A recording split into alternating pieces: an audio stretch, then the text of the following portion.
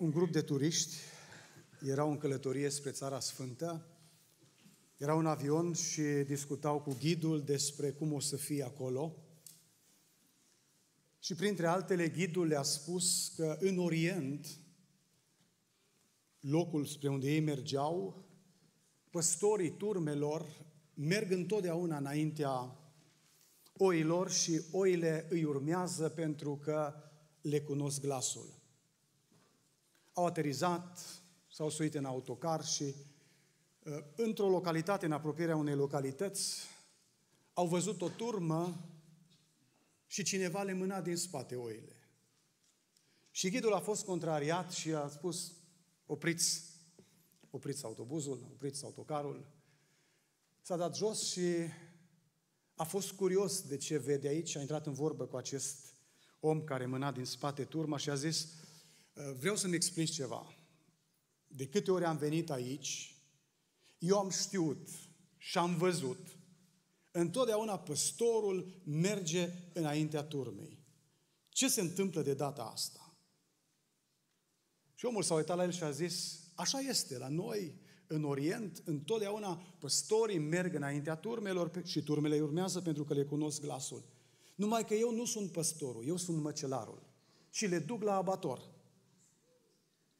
În această dimineață aș vrea să privim în textul care a fost citit, în mod special uh, versetul 34 uh, și o să vedem uh, nu un păstor din Orient, ci o să-l vedem pe Marele Păstor, Domnul nostru Isus Hristos. Păstorul cel bun, care își dă viața pentru oi. Textul acesta Marcu surprinde următorul aspect despre Domnul Isus Hristos.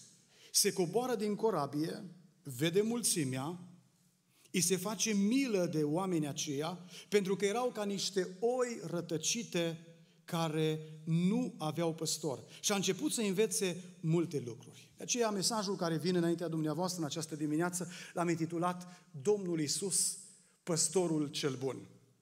Și prin acest cuvânt Dumnezeu vrea să ni se adreseze tuturor. Domnul Isus ne vorbește și ne spune că viața adevărată, viața împlinită, vine doar în relație cu El. Uh, nevoia aceea, tânjirea aceea pe care o ai în ființa ta, după ceva, după semnificație, după scop, după uh, a înțelege ce cu tine pe acest pământ, nu poate să fie împlinită decât în relație cu Domnul Isus Hristos, Marele Păstor al oilor.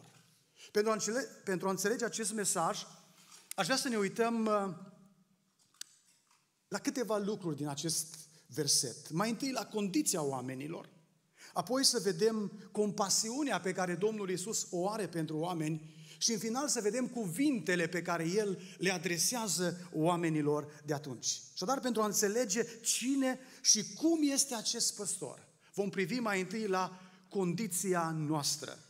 Versetul 34 din Marcu 6 spune că Domnul se uită și îi vede ca fiind ca niște oi care nu aveau păstor. Așa erau. Nu așa se părea că erau, ci efectiv aceasta era condiția lor. Așa erau, ca niște oi care nu aveau păstor. Acest cuvânt este o, poți să lași versetul acolo mai mult până când o să privim la altul, uh, acest cuvânt este o reflectare a ceea ce spune Isaia în capitolul 53, versetul 6, uh, despre evrei de atunci, el profețește uh, sigur și pentru generația lui, dar are în vedere uh, exact generația Domnului Isus, pentru că Isaia 53 vorbește despre moartea Domnului Isus și spune acolo cuvântul în versetul 6 din Isaia 53, noi rătăceam cu toții ca niște oi. Fiecare își vedea de drumul lui. Asta era starea lui Israel atunci când Domnul Isus Hristos a venit. Niște oameni care rătăceau și își vedeau fiecare de drumul lui. Pentru că nu exista un lider, cineva care să meargă în față, cineva pe care ei să-l, ă, să-l audă, să-l înțeleagă și să meargă după el. Cu ei a fost adevărat ce spune și Scriptura în Judecători, capitolul 21, versetul 25. Pe vremea aceea este un verset foarte trist. Pe vremea aceea nu era împărat în Israel și fiecare făcea ce îi plăcea. Nu exista acel om pe care să-l urmeze, nu exista liderul, păstorul. Și fiecare mergea în direcția pe care o considera el corectă. Lipsea așadar omul care să meargă în față. În timpul Domnului Isus lipsea acest om care să meargă în față. Din spate erau destui măcelari, să știți. Dar lipsea păstorul. Nu era cine să-i conducă. De aceea aceasta era condiția lor. Dacă ar fi să ne gândim un pic la contextul în care Domnul Isus se naște, Scriptura ne spune că în zilele acelea au venit niște uh, oameni înțelepți din răsărit la Ierusalim să-l caute pe împăratul de curând născut al iudeilor. Și atunci când au venit, s-au dus în casa lui Irod și au pus întrebarea, unde este? Irod era regele, împăratul, păstorul, ca să spunem așa, liderul. Și uh, el nu știe ce să răspundă la întrebarea asta și îi cheamă pe păstorii spirituali ai poporului Israel. Și aceștia vin în casa lui și întreabă pe preoți, unde trebuie să se nască Mesia? Și știți ce răspund ei? Știau? Știau. În Betleemul din Iudeea, pentru că este scris și dau și citat din Scriptură. Dar întrebarea este, acești păstori au fost curioși să meargă și să vadă unde era Mesia? Pentru că nu interesa. N-aveau interes pentru asta. Erau bine mersi așa cum erau ei. În comparație cu asta, deci în Matei 2 citim despre acești păstori orbi, iar în Luca 2 citim despre alți păstori. De data aceasta, efectiv, oameni de pe câmp, care își păzeau turmele, la care îngerul vine și le spune o veste extraordinară, că s-a născut Mesia. Și spune Scriptura că oamenii aceia au lăsat turmele și s-au dus în grabă să vadă dacă ceea ce îngerul le-a spus este adevărat. Ce diferență între Matei 2 și Luca 2? Ce diferență între oamenii care citează unde trebuie să se nască Mesia și nu fac nici măcar un pas? Și acești păstori simpli de la turme, care atunci când aud că s-a născut Salvatorul, se duc în grabă să vadă și merg acolo și se închină. Păstorii din timpul Domnului Isus Hristos, păstorii spirituali, liderii, aveau doar interese personale. Nu aveau niciun interes pentru veșnicie. De aceea Domnul Isus a trebuit de două ori și la începutul lucrării și la finalul lucrării să pună ordine în casa lui Dumnezeu. Să facă curățenie acolo. Ne spune Scriptura în Evanghelia după Ioan, capitolul 2, de la versetul 13, că a făcut curățenie și uh, ce a găsit acolo era o casă de comerț. Domnul a zis, ați făcut din casa tatălui meu o casă de negustorie. Voi, păstorii lui Israel, asta ați făcut, o casă de negustorie. Și apoi, la finalul lucrării, Domnul Isus face curățenie și este și mai drastic de data aceasta și spune, ați făcut din casa tatălui meu o peșteră de tâlhari. Asta era situația celor care ar fi fost chemați să conducă. Și atunci când Domnul Isus privește spre mulțimi, îi vede că efectiv nu știu unde să se ducă, nu știu ce să facă, pentru că lipsește cel care să-i conducă. Acum, acești păstori spirituali aveau doar interese personale și materiale. De aceea Domnul Isus Hristos uh, a vorbit despre ei. Marii preoți erau aleși din partida saducheilor. Existau farisei, saduchei, cărturari, erodiani, mai multe partide religioase, dar despre, uh, știm uh, că uh, marii preoți erau aleși din, dintre saduchei în vremea Domnului Isus și în Matei, capitolul 22, de la versetul 23, Domnul Isus Hristos vorbește cu oamenii aceștia, vorbește cu mulțimile și vin niște oameni și spun, acești saduchei, care zic că nu este înviere, îi pun Domnului Isus Hristos o întrebare și prezint o ilustrație și spun la înviere o femeie, da, care a avut succesiv mai mulți bărbați și au murit toți și a rămas ultimul și a murit și el, la învierea cui va fi. Numai că oamenii aceștia nu credeau în înviere. Și atunci când nu crezi în învierea morților, ce te preocupă? Doar lucrurile materiale. Scurt! Filozofia după care îți conduci viața este aceasta. Să mâncăm și să bem că mâine vom muri. Și acești păstori, care ar fi trebuit să fie și să conducă poporul, erau în această situație, nu credeau în înviere. Și tot interesul lor era pentru viața de aici. Comerț. Ei conduceau comerțul acolo, la, la templul lui Dumnezeu. Intrau sume serioase și când Domnul Isus a făcut curățenie, a fost foarte deranjați de ceea ce Domnul a făcut acolo. Numai că ei erau într-o situație foarte dificilă. Era o conducere coruptă, oameni care se păstoreau pe ei și familiile lor. Domnul Isus a vorbit despre ei la un moment dat și a spus despre farisei, dar despre toți conducătorii de atunci spirituali ai lui Israel. Sunt niște călăuze oarbe. Lăsați-i! Pentru că dacă un om călăuzește un alt, un orb călăuzește un alt orb, vor cădea amândoi în groapă. Și Domnul se uită spre oamenii de atunci, spre mulțimile care veneau să asculte cuvintele și spune sunt ca niște oi care nu au păstor, adică sunt necăjiți, sunt risipiți, sunt exploatați, sunt abandonați, sunt neprotejați, sunt neîngrijiți. Asta era cu adevărat starea lor de atunci. Asta era condiția în care se aflau. Dar condiția lor reprezintă până la urmă, din punct de vedere spiritual, condiția oricărui om care nu-L are pe Iisus ca păstor al lui. A omului care nu-L cunoaște pe Dumnezeu. Omul acela nu are direcție. Omul acela nu are protecție. Omul acela nu este îngrijit. Omul acela nu este împlinit. Omul acela este debusolat. De aceea atâția oameni care nu l-au pe Iisus Hristos ca păstor al lor sunt în situația în care încearcă să, să-și aducă împlinire, satisfacție sau să uite de greutățile vieții prin droguri, prin alcool. M-au auzit de fete de școală, de liceu, nu-i așa? Care uh, caută droguri, caută să evadeze din lumea aceasta. Oameni care nu găsesc împlinire, alții într-o viață imorală, alții doar în a acumula bogății și vorbesc cu sufletele lor ca și acel bogat. Ai multe bogății, trăiește bine! Oameni care nu l-au pe Iisus ca și păstor. Biblia spune că starea aceasta este foarte dificilă. Oamenii sunt în confuzie. Dacă vorbeai cu cineva acum 50 de ani și să-i spui, peste 50 de ani o să vină o vreme în care o să, să fie învățați copiii la școală că e posibil, deși s-a născut fetiță, să nu fie fetiță. Poate zicea, ești nebun. ce prostii vorbești.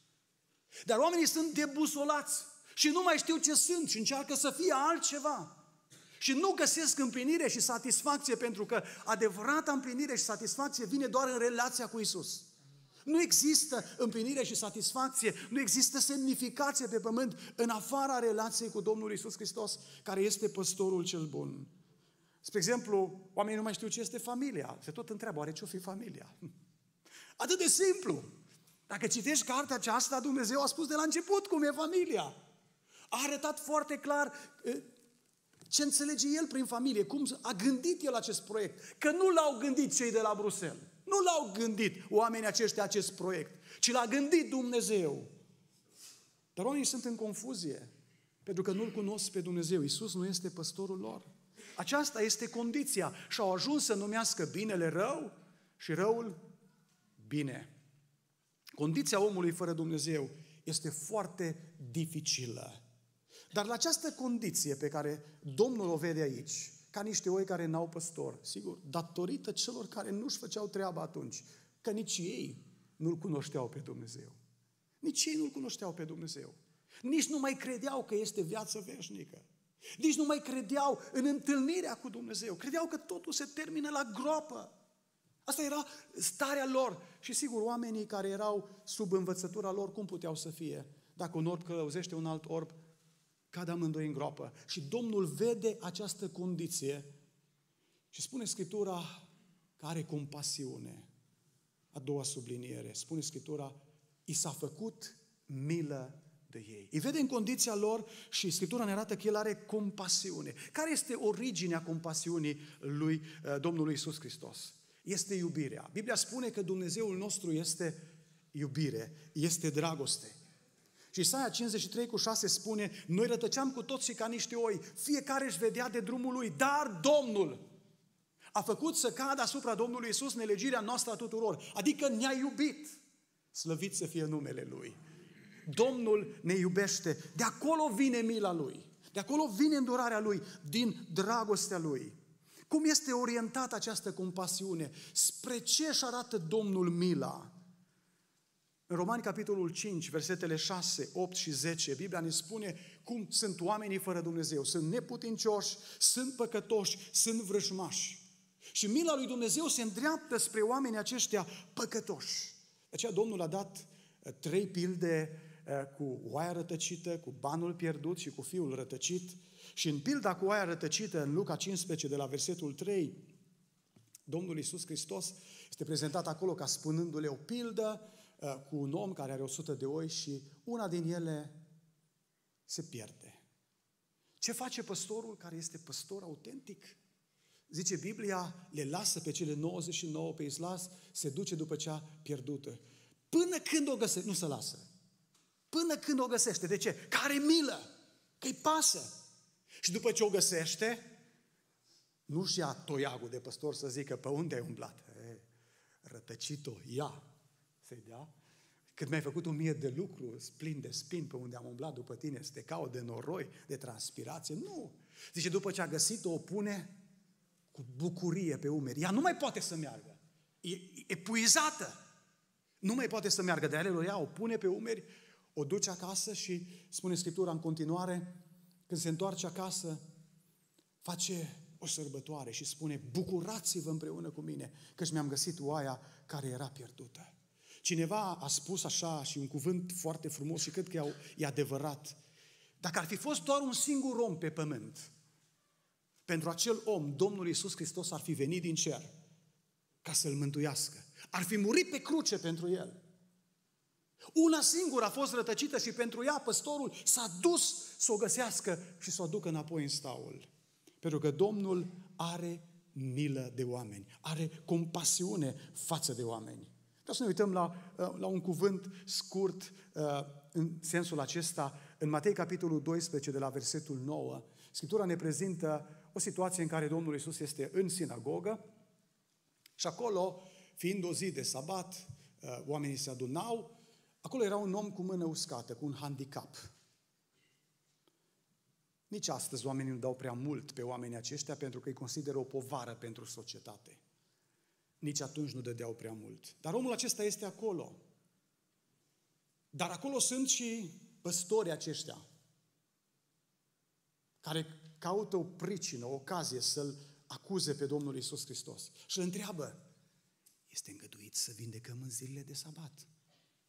Și Domnul le răspunde, cine este omul acela dintre voi care dacă are o oaie și cade în groapă în ziua sabatului, să nu apuce și să o scoată afară? Adică, dacă voi pierdeți ceva în ziua de sabat și o oaie are un preț pentru voi sau un alt animal și vă cade în groapă, Vreți să pierdeți bani în ziua de sabat? Și răspunsul categoric al lor ar fi fost, nu, mergem și o scoatem, nu o să o lăsăm acolo să suvere. Ne, ne, ne, ne milă de oaia aceea. Le era milă de, de valoarea ei, de bani, nu de, neapărat de oaie. Dar zice, o scoateți. Și acum Domnul le spune, cu cât mai de preț este deci un om decât o oaie. Și apoi versetul 13, versetul 14 ne spun, Domnul îl vindecă pe omul acesta și versetul 14, fariseii ies afară și fac un sfat, ce să facă? Să-L omoare pe Isus. Isus are milă, face bine, le spune un om este mai important decât o oaie și ei sunt gata să-L omoare pentru asta. Domnul i-a trimis la un moment dat și le-a spus, duceți-vă și învățați ce înseamnă milă voiesc, iar nu jertfe. Cu alte cuvinte, voi a scăzut testul. V-am dat un test și l-a scăzut. N-ați avut temele făcute. Mergeți și învățați din nou. Nu știți ce înseamnă milă. Domnul Isus față de oameni și-a arătat întotdeauna compasiunea. Cineva a spus așa de frumos, dacă vrei să știi cât de mult te iubește Dumnezeu, nu mai zice, Doamne, Tu nu mă iubești, Tu nu ești cu mine, uită-te la cruce. Și când te uiți la cruce, înțelegi cât de mult te iubește Dumnezeu, că a dat pentru tine pe Domnul Isus Hristos. În timp ce pregăteam acest mesaj, mi-am adus aminte de o cântare, nu o să o cânt, spun doar versurile, poate să o cântăm altă dată, e așa de frumoasă. Eu te iubesc, mila ta e nesfârșită. Zi de zi mă țin mâna ta, din zorii dimineții și până când adorm. Vreau să cânt bunătatea ta, căci tu ai fost mereu cu mine. Tu ai fost atât de bun și eu cât voi avea suflare vreau să cânt bunătatea ta cu vocea ta. Și Domnul spunea, oile mele cunosc glasul meu. M-ai condus prin încercare și în noaptea grea lângă mine tu ai fost. Noi te avem ca tată, te știm ca prieten bun. Am trăit în bunătatea ta. Iisus, mă copleșești cu bunătatea ta. Dragii mei, Domnul Iisus Hristos are compasiune pentru noi. Are milă pentru noi. Și indiferent de condiția noastră, Iisus Hristos are milă pentru noi. Rătăciți cum suntem la un moment dat. Ă, fără direcție. S-a uitat la oamenii aceia și a avut compasiune față de ei. Și dar condiția lor era una gravă. Dar Domnul a venit și a avut o reacție față de asta și a avut milă față de ei. A avut compasiune pentru ei. Dar a avut și o soluție. Soluția au fost cuvinte. Și am zice vorbe. Scriptura ne spune, Marcu 6 cu 34 la final, care a fost soluția Domnului Isus? Văzându-i că nu au păstor, a început să învețe 40 de minute, 50 de predică. Spunea Tudor mai devreme că a fost multă învățătură. Multe lucruri a învățat. Le-a dat cuvinte prin care ei puteau să descopere drumul cel bun, să știe pe unde să se ducă. Domnul Iisus Hristos a avut cuvinte pentru ei, fiind profund mișcat, le-a dat cuvântul vieții.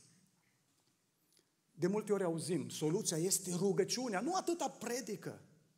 Probabil că și lui Isus i-au fi spus unii, nu-i cam mult, dă-le drumul, e foame acum. Dă-le, e cam lungă predicat, las că mai predici altă dată. Dar Domnul le dă soluție la dezorientarea lor, cuvântul lui Dumnezeu, învățătura sfântă. Iisus n-a zis, hai să facem o rugăciune și veți primi călăuzire. Nu a făcut asta. Așa cum poate uh, vin unii la noi și spun, n-ai putea să faci o rugăciune pentru mine. Dar el are nevoie de învățătură. El nu știe ce trebuie să facă, habar n-are. Și a ajuns în bucluc, în probleme, tocmai pentru că nu cunoaște ce îi cere Dumnezeu. Dar avea așa cumva magic. Pui mâinile peste el, ungi cu un delem și dacă e bolnav, dacă nu e bolnav, unii cer, nu interesează.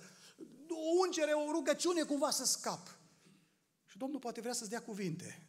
Dar n-ai vreme să le asculți. Iisus asta a făcut, a stat cu ei mult timp și le-a dat cuvântul lui Dumnezeu. Nu predici, fa, frate, poate zic unii. Iată că asta a făcut Domnul Isus Hristos. Isus este cuvântul lui Dumnezeu, spune Biblia. Acest cuvânt s-a făcut trup și prin Isus ne-a vorbit Dumnezeu. După ce a vorbit în multe feluri, ne-a vorbit prin cuvânt.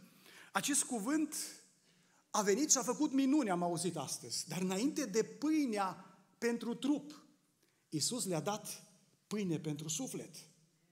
Și le-a dat suficient. Nu știu dacă a durat mai mult să fie hrăniți fizic decât a durat să fie hrăniți spiritual. Din ce înțeleg din text multe lucruri, cred că a durat mai mult să fie hrăniți la suflet și pentru suflet. Le-a dat cuvântul care să le aducă viață. Uh, Marcu este cunoscut, chiar dacă este pus în paranteză capitolul 16 din Evanghelia lui, uh, noi pentecostalii cităm foarte des din acest cuvânt, și uh, spunem că sunt niște semne care însoțesc pe cei credincioși. Și credem asta și ne rugăm să fie. Însă înainte să enumere aceste semne, în ultimul capitol, Marcu spune ucenicilor săi, mergeți în toată lumea și predicați, propovăduiți. Și iată semnele care vor, ce fac semnele? Însoțesc predicarea cuvântul. Și el ne arată, dacă la final ne vorbește uh, și despre semne, și în toată Evanghelia, dar prindem așa la final, el ne arată la începutul Evangheliei lui care a fost prioritatea Domnului Isus Hristos. În primul capitol, am văzut ce scrie în ultimul, în primul, În versetele 38 și 39, Marcu spune care a fost prioritatea Domnului Isus Hristos pe pământ. Uh, oamenii îl căutau și Domnul zice, haideți să mergem în altă parte, prin târgurile și saturile vecine, satele vecine, ca să fac ce? Să fac multe minuni? A făcut minuni, a făcut. Dar nu pentru asta zice, am venit eu în lume. Nu ăsta e scopul lucrării mele pe pământ, deși minunile vor exista, și am auzit astăzi. Și dăm slavă lui Dumnezeu pentru fiecare miracol care ne atinge trupul. Dar Domnul zice, în tine și în mine este ceva mai important decât trupul. Tu, tu ești mai mult decât această carcasă care într-o zi te va lăsa. Va scârți la început și pe urmă te va lăsa. Și o vei părăsi. Vei pleca. Eu am ieșit ca să-ți spun și să-ți dau pâinea vieții, cuvântul prin care să trăiești. De ce spune Marcu asta? Ca nimeni să nu uite că Domnul Iisus Hristos i-a învățat multe lucruri. Așa că să nu vă supărați pe noi că predicăm. Trebuie să predicăm. Altădată vă consiliem. Trebuie să o facem. Pentru că Domnul ne-a învățat să aducem cuvântul Lui. Psalmul 119, versetul 5, 105 spune așa. Cuvântul tău este o candelă pentru picioarele mele și o lumină pe cărarea mea. Osea spune în 4 cu 6, poporul meu pierde din lipsă de cunoștință. Pierde din lipsă de cunoștință. Fiindcă ai lepădat cunoștința și eu te voi lepăda, spune Dumnezeu vorbind cu un lider religios din vremea aceea. Când te afli într-un loc întunecos, ce faci? Care e prima reacție? Să aprins lumina, să faci clarificarea situației de acolo. Când aprins lumina, lucrurile se lămuresc. Psalmul 36, versetul 9, a doua parte, spune Prin lumina ta vedem lumina. Deci avem nevoie de lumina cuvântului lui Dumnezeu ca să vedem lucrurile lămurit. Iar Domnul a zis despre cuvintele pe care le rostește, Ioan 6 cu 63, cuvintele pe care vi le-am spus sunt Duh și viață. Dacă vrem viață, avem nevoie de cuvintele Domnului Isus Hristos. La această condiție a lor, Domnul își manifestă compasiunea și le oferă soluția, cuvintele Lui, care sunt Duh și viață. I-a învățat multe lucruri. La întunericul care a acoperit țara lui Israel în timpul Domnului Isus Hristos, așa cum a spus Isaia, că întunericul nu va împărăți veșnic pe pământul în care acum este necaz. Atunci când Isus a venit în țara lui Israel, exista mult întuneric. Soluția știți care a fost? Cuvântul care să se facă trup și să rostească cuvintele vieții. Pentru că fiecare cuvânt al Domnului Isus Hristos, primit, crezut, înțeles, aducea lumină, direcție, viață din belșug. La un moment dat, Domnul le zice unor ucenici, uh, voi nu plecați. Era o provocare ce a spus el. Voi nu vă duceți. Și ei au zis așa, că ăștia au înțeles. La cine să ne ducem? că mulți, erau mulți atunci care se erijau în păstorii lui Israel și în special tagma aceasta saducheilor. Ei încercau să taie și să spânzure acolo, să facă rânduielile. Și îi spun ucenicii, la cine să ne ducem? Tu ai cuvintele vieții veșnice.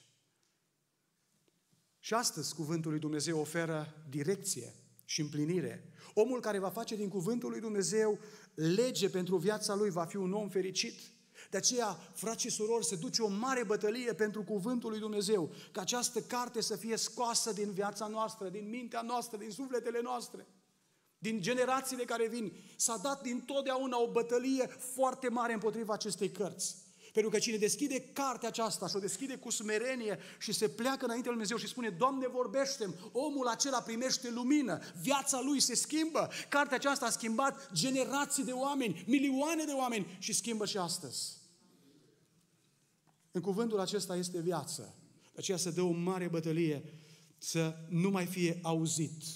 Și lucrurile acestea ale lui Dumnezeu să fie scoase din școli. După Revoluție s-a putut pune religia în școală. Și există astăzi uh, o poziție foarte puternică față de asta. Și oamenii încearcă să schimbe și să pună alte lucruri și să învețe pe copii alte nebunii despre care am pomenit mai devreme. Dragii mei, cuvântul acesta ne schimbă viața. De aceea ce putem noi să facem este să venim în fața acestui cuvânt, să ne deschidem sufletele și să spunem, Doamne, vorbește-ne și schimbă-ne prin cuvântul Tău. Uh, pentru că în momentul în care ne punem sub autoritatea cuvântului și dăm dreptate lui Dumnezeu și nu mai zicem, păi eu așa am părerea, dar nu contează părerea mea. Nici măcar părerea ta, contează părerea lui Dumnezeu. Și când eu mă pun sub autoritatea acestui cuvânt, sunt binecuvântat ca bărbat, ca femeie, ca soț, ca și copil, ca și părinte, ca și angajat, ca și șef, ca și patron. Pentru că în acest cuvânt sunt învățat cine sunt în primul rând și apoi sunt învățat cum să vorbesc. Sunt învățat cu cine să mă însoțesc. Sunt învățat unde să mă duc și unde să nu mă duc. Sunt învățat cum să mă îmbrac.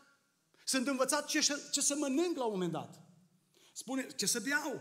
Scriptura spune uh, în cartea lui Daniel, în primul capitol, foarte frumos, ilustrăm lucrul acesta. Uh, sunt patru adolescenți, uh, ne prezintă primul capitol din Daniel, Daniel, Daniel Mișael, Azaria și Hanania. Acești patru adolescenți evrei 16-17 ani, ajung robi, robi în Babilon.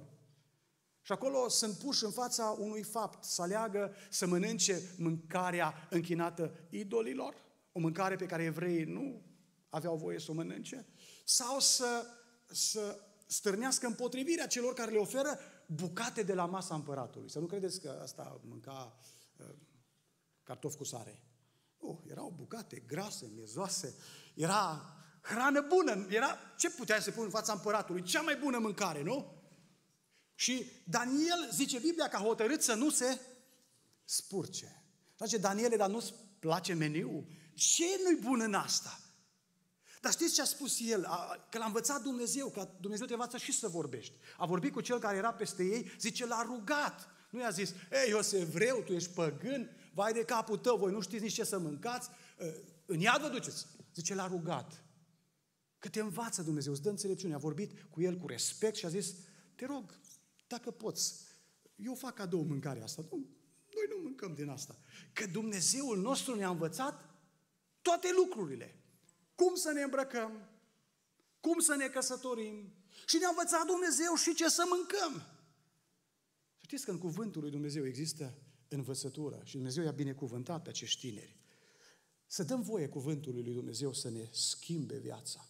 Primul verset care a fost citit astăzi în biserică, Psalmul 119, versetul 72. Dar mi-aș dori să fie o realitate pentru noi. Am zis, Doamne, ce frumos le potrivești Tu. Mai mult prețuiește pentru mine legea gurii tale decât o mie de lucruri de aur și de argint. Nu zice un lucru de aur și de argint. Și eu trebuie să-mi pun întrebarea când aud că Isus a dat multe învățături, să-mi pun întrebarea, dacă aș fi fost în mulțimea aia, m-aș fi plictisit și aș fi plecat sau aș fi rămas până spre seară. Aș fi prețuit legea lui Dumnezeu, cuvântul lui Dumnezeu? Atâta ne zbatem pentru aur și argint. Valorile de astăzi sunt, cum le numim? Euro, dolari, proprietăți, și așa mai departe. Atâta ne zbatem și problema este, prețuim noi această lege? Dacă o prețuim, o citim, ne supunem și spunem și altora. Trebuie să ne punem întrebarea aceasta. Dacă viața noastră e goală, ea poate să fie umplută de cuvântul lui Dumnezeu. Domnul Iisus Hristos a spus că omul nu trăiește numai cu pâine, ci cu orice cuvânt care iese din gura lui Dumnezeu. În concluzie, în această dimineață, Domnul Isus se uită spre contemporani și vede într-o situație foarte dificilă. Și El își manifestă mila și ajută prin cuvântul Lui. Și vreau să vă spun că și în vremea noastră Domnul se uită spre noi și indiferent unde am fi, indiferent unde am fi, indiferent care ar fi starea noastră, Domnul nu se uită cu dispreț, ci Domnul se uită cu milă spre noi. Și ar vrea să ne ridice din rătăcire, din neștiință, din încăpățânare, din lăcomie, din tot felul de stări care ne duc departe de voia lui Dumnezeu. Este marele păstor al oilor. Și vine în mijlocul nostru și îmi spune și îți spune și ție, dăm voie să-ți conduc viața. Nu mai rătăci, nu te mai duce într-o parte sau într-alta, ci uită-te la mine. O cântare spune, este greu, da, este greu, să trăiești fără Dumnezeu. Dar Domnul spune, te rog, nu te uita la viața ta cea grea. Uită-te la mine, uită-te doar la Isus, ce la cruce El s-a dus ca să moară pentru tine. Domnul Isus a murit pe cruce pentru noi, ca viața noastră să nu fie goală și lipsită de semnificație, ci să avem un scop și un sens. Domnul vrea să ne ofere și astăzi înfiere, protecție, direcție, semnificație, împlinire, lucruri după care sufletul nostru tânjește. Nu contează vârsta noastră, că suntem copii sau adolescenți sau tineri sau familii sau oameni în vârstă. Răspunsul este unul singur. Isus Hristos, păstorul cel bun. Vreau să închei cu o ilustrație. Se spune că în timpul unui recital într-un mare auditorium american, un actor celebru a recitat la perfecție Psalmul 23. Dicție perfectă, pauze calculate, intonație corectă și ritm măsurat.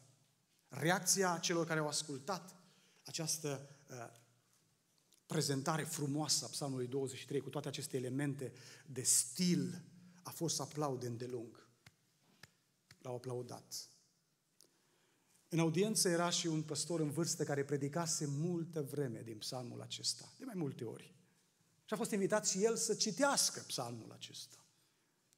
Având Biblia la el, s-a ridicat și a citit, fără să aibă o dicție perfectă, nici o intonație prea bună, fără să pronunțe ca și actorul uh, cuvintele uh, așa de bine, dar la sfârșitul citirii, toată sala a început să plângă. Și actorul a fost contrariat și cineva l-a întrebat pe actor. Zice, de ce credeți că atunci când dumneavoastră ați citit, ați recitat așa de frumos, lumea v-a aplaudat, iar când el a citit așa cum a citit la vârsta lui, toată lumea a plâns. Și actorul a fost sincer și a zis, zice, eu cunosc foarte bine textul și tot stilul de prezentare, că asta mi-e meseria. Știu să apar în fața oamenilor, să fac spectacol bun și dacă trebuie și din Biblie, fac un spectacol foarte bun. Și m-ați aplaudat. Eu cunosc textul. Dar acest om îl cunoaște pe păstorul cel bun. La această dimineață aș vrea să ne întrebăm fiecare dintre noi. Îl cunoaștem pe acest păstor? Este el păstorul nostru? Dacă este, vom putea spune acest psalm 23 cu toată inima. Domnul este păstorul meu. Nu voi duce lipsă de nimic. El mă paște în pășuni vers și mă duce la ape de odihnă. Îmi înviorează sufletul și mă povățuiește pe cărări drepte din pricina numelui Său. Chiar dacă ar fi să umblu prin varea umbrei morții, nu mă tem de niciun rău, căci Tu ești cu mine. Toiagul și nuiaua Ta mă mângâie. Tu mi întins masa în fața potrivnicilor mei, îmi ungi capul cu un de lemn și paharul meu este plin de dă peste el. Da, fericirea și îndurarea mă vor însoți în toate zilele vieții mele și voi locui în casa Domnului până la sfârșitul zilelor mele. Doamne, fii păstorul nostru. Amin.